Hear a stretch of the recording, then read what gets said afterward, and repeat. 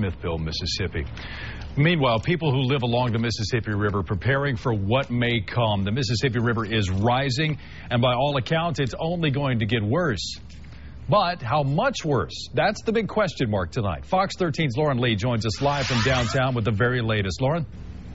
Well, Daryl, the river is continuing to rise so much so that its tributaries are now flowing backwards. Here at Tom Lee Park, the preps for Music Fest are continuing, even knowing that the worst is yet to come. It's a sight not often seen. The Wolf River and Nonconnah Creek are flowing backwards. The swelling river cannot take on much more water. Right now, the Mississippi River is in the process of going through what we call an epic flood meaning it's more than historic.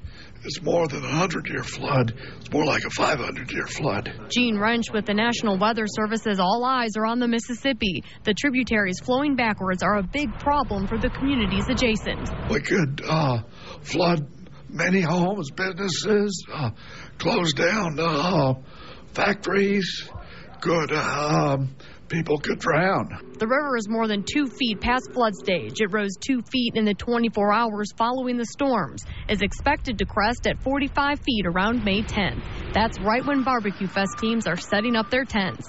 But Memphis in May's Diane Hampton says they can deal with the forecasted 45 foot river. And at that point, Tom Lee Park is not underwater.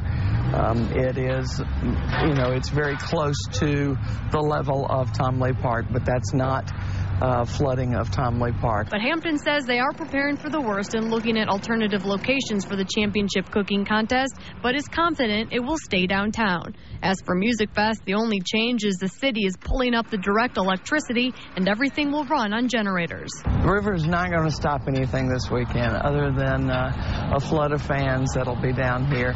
Of course, she says the river has a mind of its own, but the Army Corps of Engineers is trying to outsmart it by shutting down the Tennessee River and closing all tributaries and dams that feed into the Mississippi. And we're just hoping and praying that uh, the plans and the actions that the Corps has taken, their strategy, is going to work. Another effect of the rising river levels are the casinos in Tunica will be shut down. That's displacing 10,000 workers. losing millions of dollars in revenue. Uh, the closure orders were issued for safety of visitors and workers. The casinos will be closed on a staggered basis depending on the level of the river. To find out that schedule, you can log on to myfoxmemphis.com. Reporting live downtown, Lauren Lee, Fox 13.